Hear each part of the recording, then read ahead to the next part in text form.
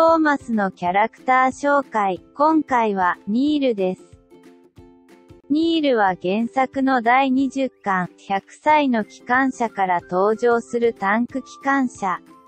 車体番号は2番で車体の色は緑色、ソドーメインランド鉄道の所属です。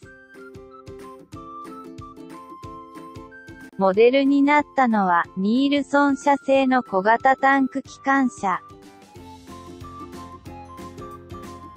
性格は親切で真面目、頭が良いのも特徴です。スカーロイの友達で、100年前の思い出、というお話に登場していました。原作版のみで、人形劇や CG バージョンには登場していません。